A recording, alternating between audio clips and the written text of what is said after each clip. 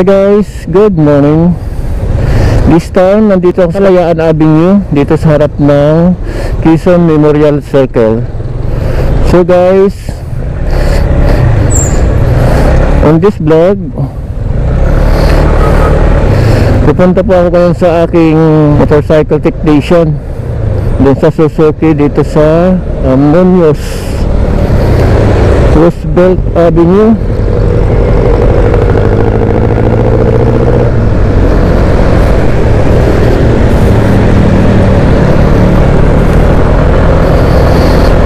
So nasa elliptical road ako ngayon.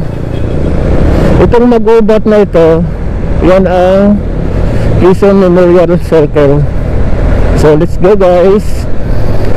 Tingnan ko kung makapag-vlog ako ng maayos doon. So on the way na ako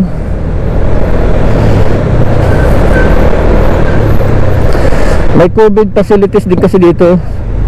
Ito yung Quezon Memorial Circle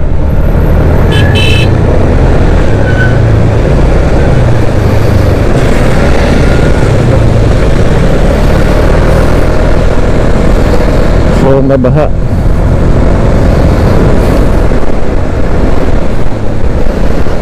So binabaybay pa rin natin ang Quezon Memorial Circle.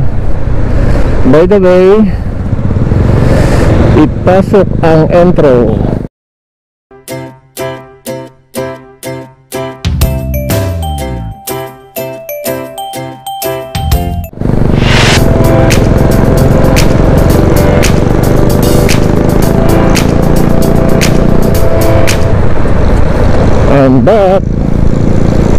So guys.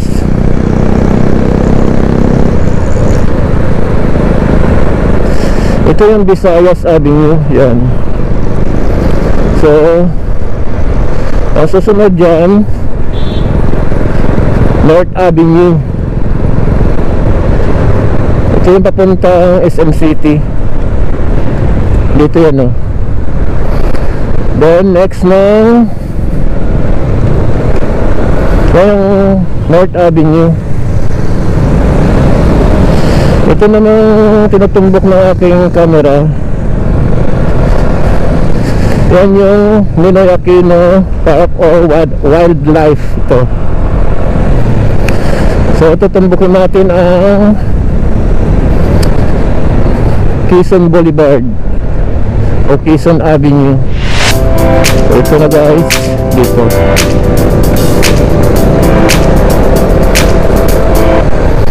ito yung lunch center. Ayan yung mga COVID yung mga tent na yan yung mga COVID facilities. Additional yata yan. Ito yung sinasabi ko sa inyong wildlife ito yan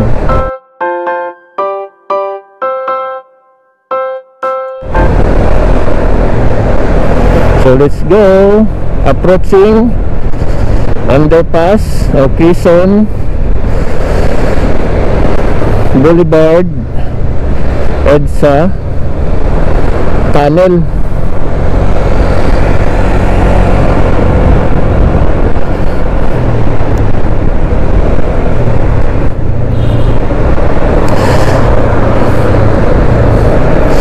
Ngayon tinutumbok ng aking camera Yan yung Children's Hospital.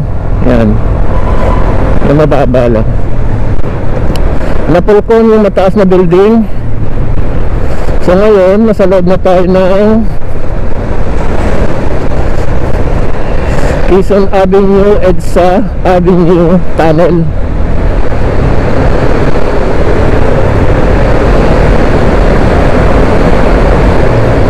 So let's go guys. Chill chill lang. Sakto lang yung takbo. Kaya ka sa 60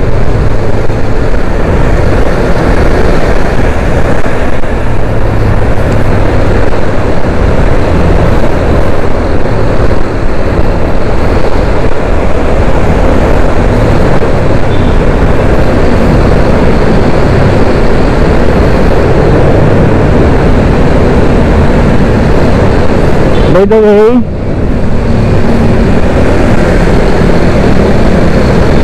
Tinitesting ko na itong bagong microphone ko dumating kahapon. Ito yung mahaba yung nilalagay sa loob ng helmet. So yung microphone na ito pang GoPro talaga ito. Pero ito ay para sa GoPro 3, 4 and 5 yata to pero kung may adapter daw pwede siyang gamitin ng GoPro 7 or 8 so may kwan ako dahil may adapter ako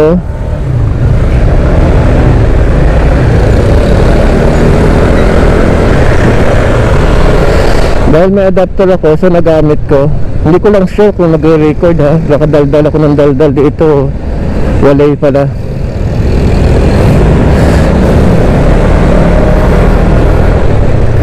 So guys ito ay nakalimutan ko na. Noynoy na street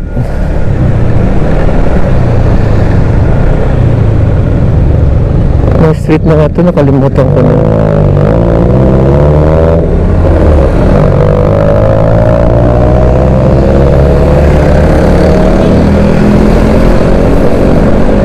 alam ko dito ang bahay nila Noynoy eh. Examiner. Examiner Street ito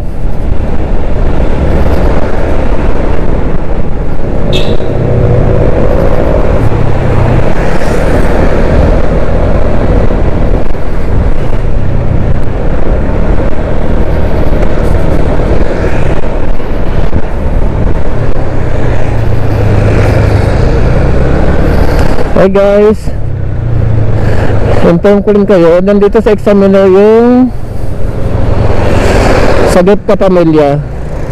Ayan ah. Ayan. Sarado siya.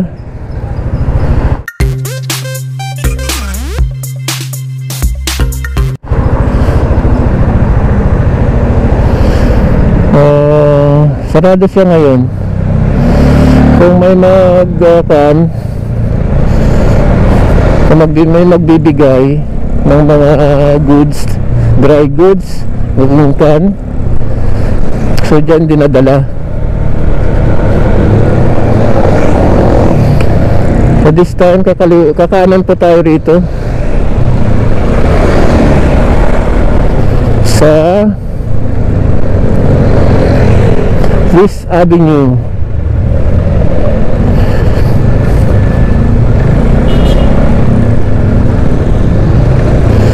ito ay West Avenue na. Ang tinutumbok nito yung EDSA North SM City.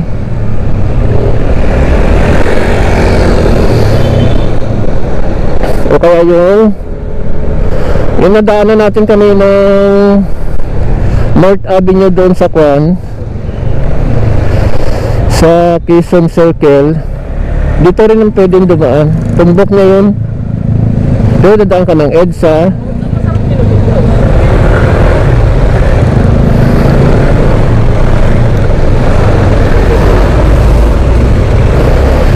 So guys.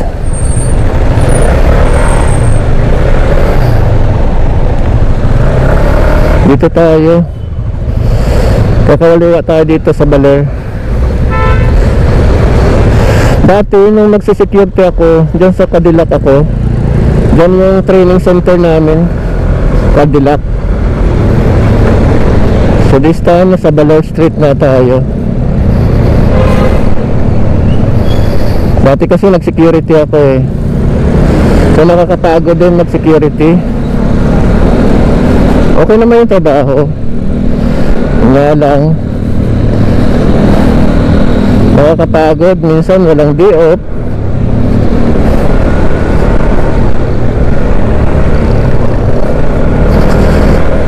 Minsan naman kahit holiday may pasok siyempre no wala kang reklamo doon kasi option, wala kang option kasi guard ka eh. Kailangan guardan mo hindi pwedeng bakantihin yung lugar. So wala.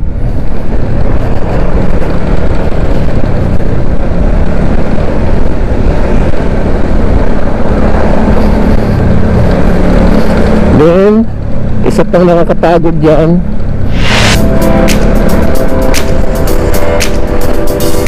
every year mabaguhin mo yung mga requirements mo. Buti kung ilang requirements lang yan. Lahat. Halos gagastos ka ng dalawang mahigit dalawang libo. Hindi pa kasama siguro doon yung mga kwan mo. Pamasahe papunta rito papunta roon. Pangalawa hindi ko alam kung ilang years na ngayon yung interval ng kwan magti-training ka ulit. Every dati kasi parang every 2 years yata yun. I'm not sure nakalimutan ko na eh. 2015 pa kasi ako huling nag security ah, shout out pala dyan sa, sa mga taga Bulldog oh. Shout out sa mga taga Bulldog ito yung yung isang security guard dati. So okay naman kasi hindi pa nga ako pinapakuha noon. Kaso lang ako na talaga napagod umayaw na talaga ako. So nag resign na lang ako. So nung pag resign ko bumili na lang ako ng parang bago ako nag resign talagang may ko na ako may balak na kasi magpumatok yung sari-sari store namin. So sabi ko kahit mag-resign ako tumutok na lang ako sa sari-sari store namin kasi kumikita naman.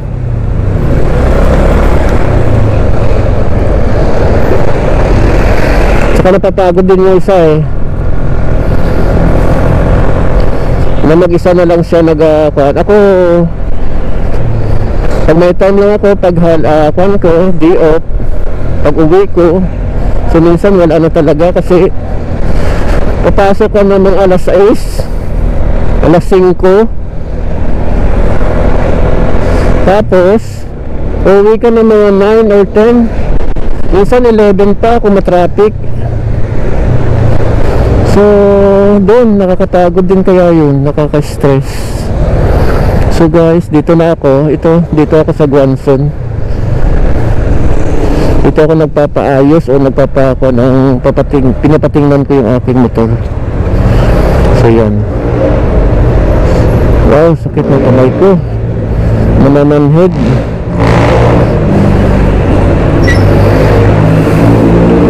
So guys uh, try kong magbalag sa loob ha? So dito hindi ko pa magagawa siguro. Hindi ko pa sure kung pwede mag vlog doon. So see you next vlog. Bye! Hi guys. Andito ako sa spare parts counter ng Suzuki. Dito sa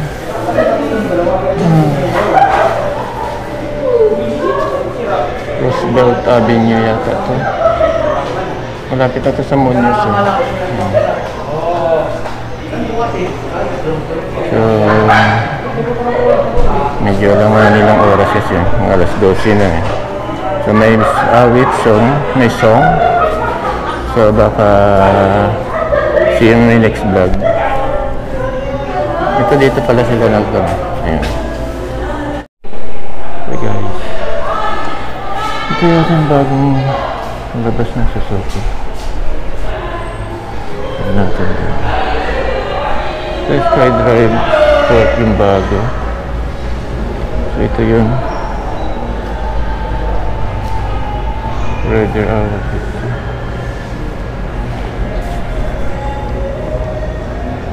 Hmm, Bago. Ito yung lumang SkyDrive. Pink. May idea ka ma'am kung magkano to? Ah, 76,900 po.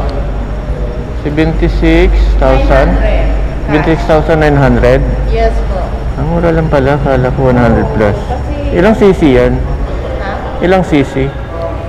125 lang yan, sir? Ah, 125 lang to. Hmm. Meron pa pala talaga ito, mas mataas pa sa 100 125. Oo, pagka lagpas po sa 125, hindi ko na po alam ang Oo, price. price. May ibang kulay niyan. Ah, gray, white, At saka May red. Black. Yun lang Oh. ang ano, kulay. Red Pero lang. hindi ko lang po alam kung meron pang available ito. Kasi ang nakalagay din. Uno. Oo, hindi ko alam. Ano, kung di ma, di ko. Sige. Hi, sir.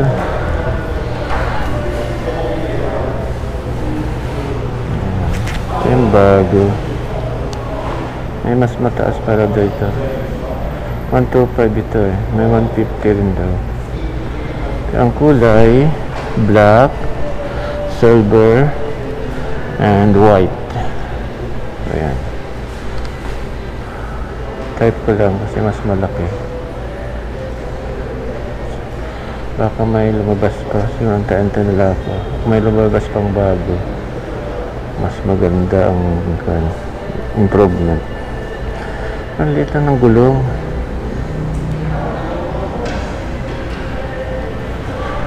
So, yan.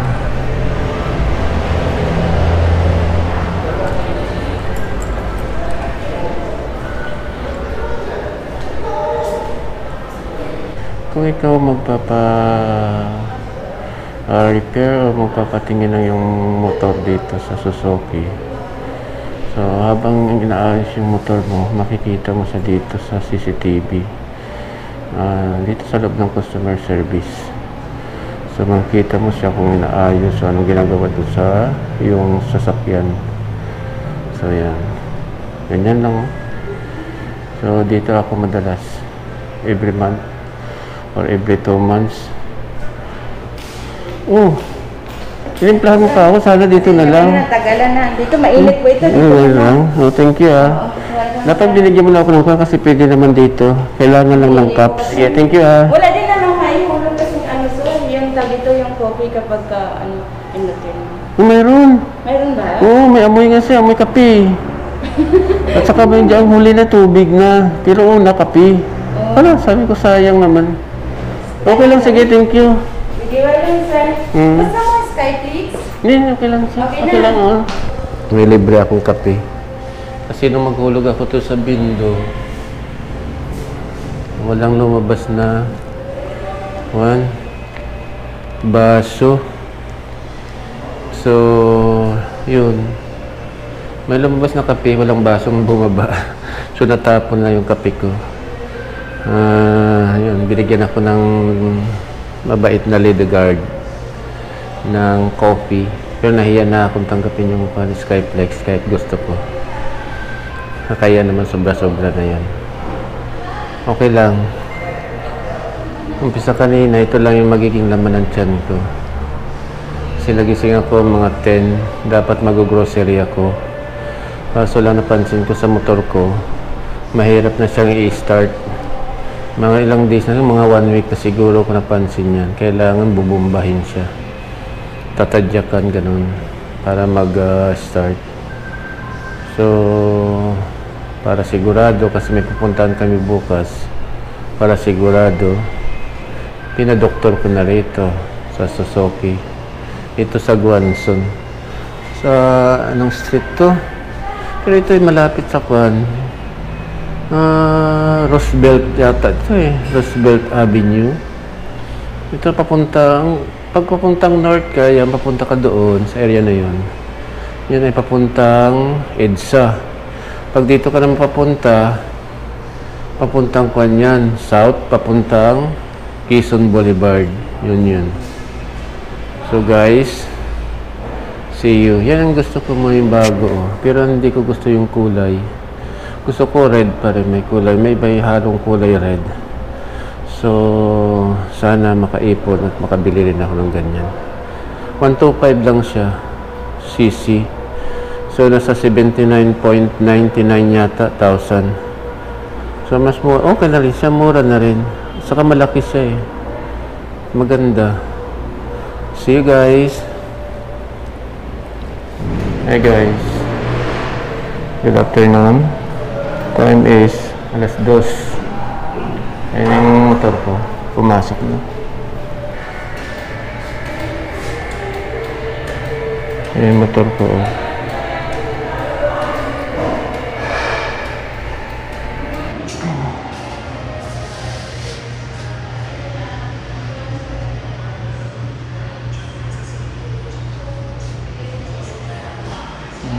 com o bagulho.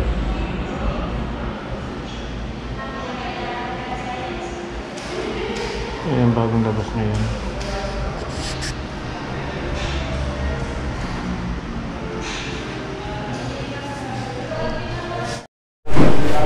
Hey guys. Ang daming papalitan. Starter.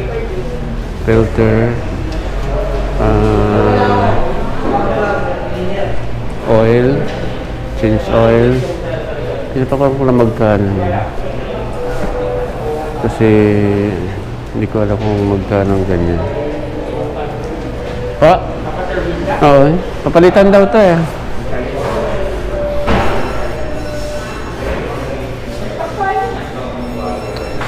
Siya kasi regular na nagkun sa akin dati. Wala ka pa yata rito eh. no? Sir, 1.6 na sir. Ha? Mga ko 1.7. Yung... Sama list card. Hindi yun, kasama.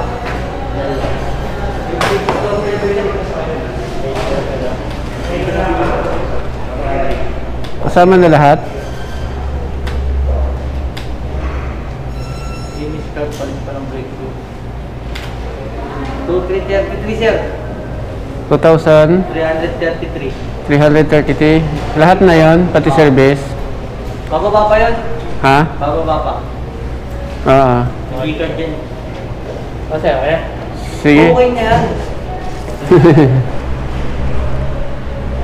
Attention kayo, sir. Dami? Brake shoe, filter, change oil, ah, spark plug, Ano ba talaga, sir? SkyDrive. Ah. Almost one year na kasi hindi na ako umpisa ng pandemic eh. Kasi tuwing pupunta ako rito, hindi siya available eh. Kaya nagtataon yun, konti tao. Pero okay pa rin naman. Ngayon kasi may problema na talaga yung start. Mag, pag nag-start siya, ang hirap na. So, tingnan ko. Kailangan talaga. Oo. Lalo pa pupunta kami ng Cavite bukas eh. Kaya sinaglit ko na lang dito. So, pinakompute ko kung magkano. Mga 2,333. Baba- babayaran ko. Saan siguro kulang-kulang din? Isang libo. Dati kasi nung mga change oil lang, mga filter, naabot lang ako ng 400 plus, mga ganyan.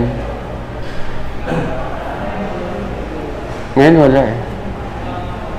Talaga ikaw ko na lang, sige okay na yan, hayaan mo na. Sigurado kasi Oo, hindi ako nagpapakan doon. Saka dito ko rin naman binili yan. Ah, So dito ko talaga yan pinadala pag may, may nararamdaman ako. Break o ano. Pinadala ko na agad dyan dito. Kasi magagaling naman sila dyan. Mga kanyan eh. Talaga na. Yung, isa kanina, yung nagbabati sa akin, magaling yun. Yun talaga nag, nag yan. yung... Oo, yung, kaus, yung may kausap kanina mataba rito. Yun. Magaling yun. Simula simula yun ang nagkukuhan sa akin eh. Nag-aayos ng motor ko. Ito kasi yung ngayon, bago lang yan eh, yung sa akin ngayon. Ah, yun natin yung nasa gitna. Ayun sa gitna na yan. Ngayon ko lang yan nakita eh. Ang magaling isa ito. Yan yung sa... So yun. Yan yung dat- datihan na talaga yan, matagal na yan. 2016, nandito na yan eh. Kahit yung sa akin, bago. 2016, yan na yung nag- nag-aayos ng motor ko eh. Wala na kasi yung eh. Oo. Yung medyo maintindihan. Yung isa, yung parang nanalo, yung nanalo sa kwan, sa Malaysia, yung nag-champion, yung may pic... Tapos, no? Oh, nakapost doon. Parang, di na saan kaya yun? Malis na? Malis na ata siya. Hindi ko na nakikita eh. Oo. Yan na lang ang matagal dito. Sa- Oo. Sa akin naman sa start lang. May time na normal yung start niya, may time naman na kailangan bubumbahin mo. Ah, Hindi kaya sa battery. Hindi, bagong battery niyan eh. Battery. At saka hindi naman masyadong ginagamit kasi yan once a week o twice lang, ganyan. Hindi siya bandado. Oo. Kaya sabi na parang bago pa yung motor mo, ilang taon na yan.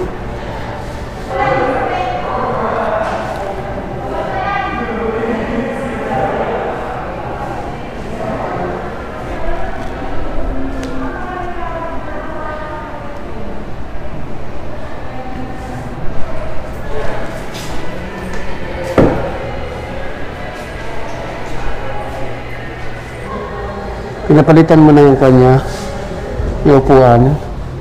Tapos lang sir, Ah, tinabasan mo lang.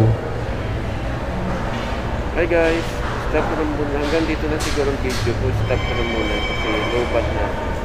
So doon na lang siguro sa aming bayan, sa aming barangay ang continuous ganito. Bye! Hi guys, I'm back! Nalubat po ako kanina. So let's go guys!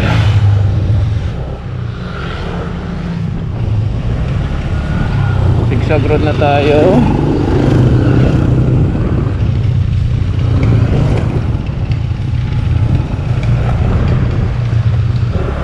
Dito sa area na to may swimming pool. Pero hindi na siya ah, functional. Hindi na siya nagpa-function. Kasi nagkaroon ng shortage dati sa tubig. So, siguro kinuha yung tubig niyan. Nilagay sa inuming tubig natin. Joke, joke, joke. Siyempre, isipin ng tao siguro, siyempre bakit nag-swimming pool, nagkaroon na tayong shortage ng ng tubig, may tubig pa rin swimming pool nila. Siyempre hindi isipin nila panay ang lagay nila ng tubig, panay ang lagay. Ano pa, ang ginawa. So that time naman nagkaroon ng kwan, under construction yan, yung under renovation. So parang hindi na nila tinuloy hanggang ngayon. So guys,